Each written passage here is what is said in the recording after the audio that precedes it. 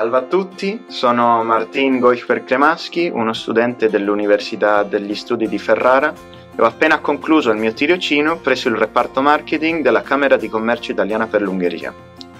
Questa è stata un'esperienza che mi ha fatto crescere tantissimo, sia a livello personale, umano, sia a livello professionale.